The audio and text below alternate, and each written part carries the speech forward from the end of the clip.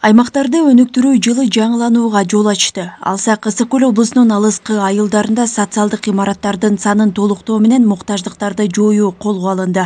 Бул багытта объектилердин басымдуу бөлүгү оңдоп түзөөдөн өтсө айрымдары жаңы курулууда. Жаңырган жылда облус эли бир нече жаңы курулуштарга ээ болуу алдында турат. Аймактарды өнүктүрүү өнөктүгүндө облустун ысык көл районунда аткарылып жаткан аракеттерге алдыда кененирээк токтолобуз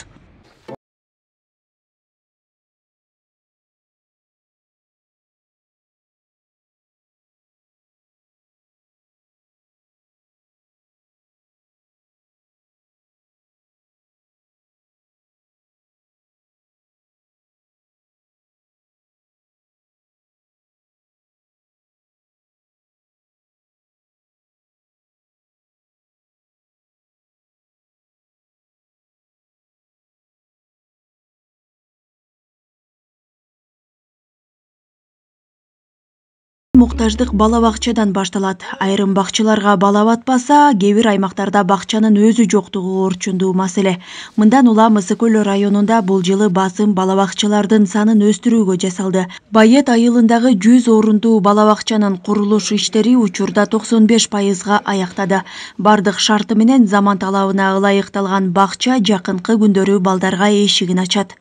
Курулуш иштери токсон беш пайызга уже бүткөн азыр бизге э, бул мекеменин өзү жүз процент бүткөн.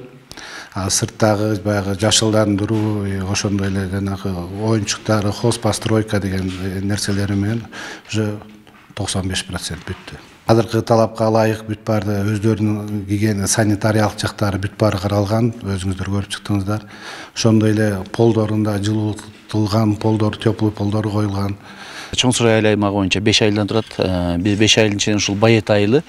Ушул бүгүнкү күндө э, абдан бул бала бакча маселеси оор болчу бирок ушул проектибиз эки миң он жетинчи жылы ишке ашырылып э, жалпы сметалык баасы он жети миллион менен ушул байет жаштары фирмасы утуп ушуну бүгүнкү күндө өзүңүздөр күбө болгондой уже э, ачылуу аземинин астында турабыз. Э, бүгүнкү күндө бир эле калганы ушул ички эмеректери э, болгон жалпы эмеректердин баары ушул ысык көл өнүктүрүү фонду тарабынан бир жарым миллион сомдук проект менен бүгүнкү күндө тендер жарыяланып утуучу белгиленди. Алты миллионго ушул курулушуна дагы жардам иретинде берилген. Калган сметанын баасын ошол ичиндеги калган акча каражаты бул биздин жергиликтүү бюджеттен болуп бүгүнкү күндө ушул даражага жетип отурабыз бала бакчанын жоктугу ушул айыл аймакка караштуу чок тал айылынын да чоң көйгөйү аталган айыл эли балдарын коңшу айылдардагы бакчага жөнөтүшөт.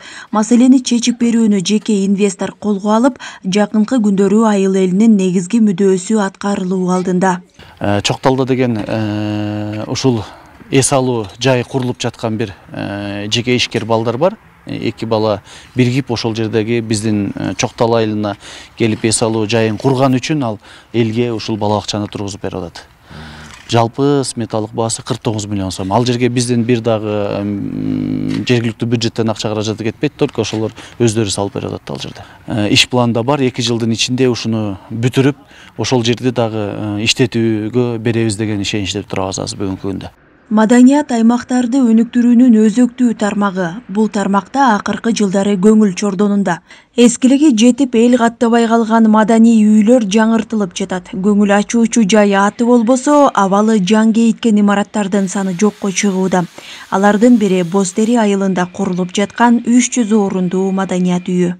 Республиканский бюджеттен келинген акча каражат отуз сегиз жарым миллион ошо бааланган э, бүгүнкү күндө биз айтсак бир токсон беш процент э, пайыз менен ала келгенде жумушту аяктап калдык э, андан сырткары бул үч жүз месталык болуп эсептелет жана чоң конференционный залы бар подвалы менен үч этаж болуп эсептелет үч жүз месталык ошо отура турганда жайы бар да. Кошумча дагы бизде кружоктор уюштурулуп атат бул жанагындай комуз бий кружоктор өтө турганда бүгүнкү күндө жанагы өтө турчу жайларыбыз дагы бар болот да бунун ичинде аймактарды өнүктүрүү жылында боз тери айылы муну менен чектелген жок. Спортко кызыккан айыл жаштарына шарт түзүүчү шаймандар алынып балдар ойноочу эки аянтча ачылган. Эми айылдагы футбол тайпалары үчүн үчүнчү кичи футбол аянтчасын салуу иштери жүрүп жатат бир жарым миң место бата тургандай чоң спорт аянтчабыз бар.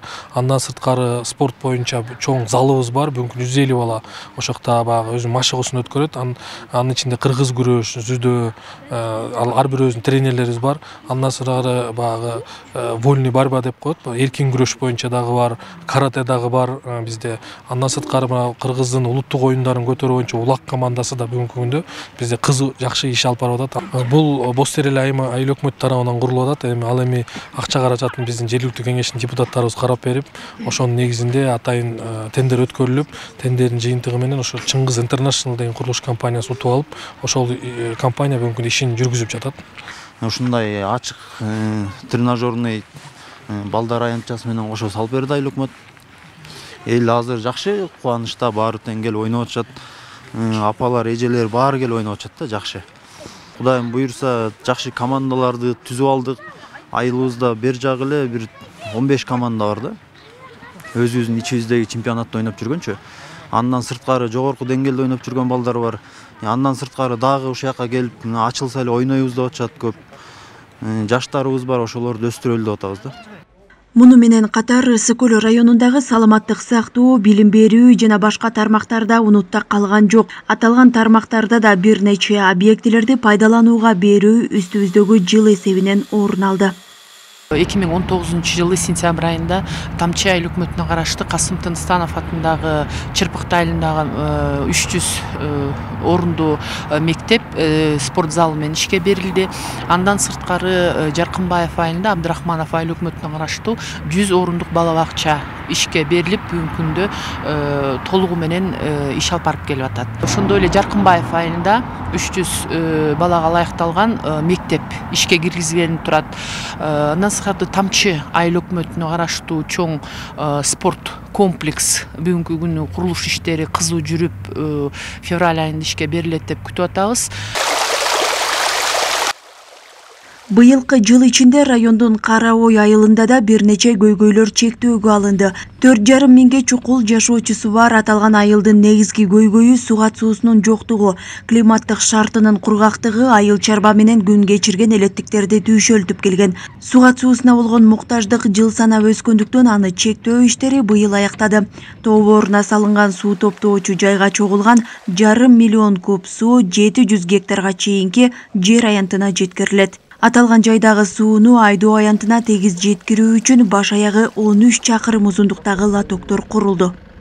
Биз долбоорду кароо айыл өкмөтүнүн тарабынан өзүбүз дайындап тиешелүү адистер менен иштеп чыгып анан кыргыз э, республикасынын өкмөтүнө сунушталган болчу.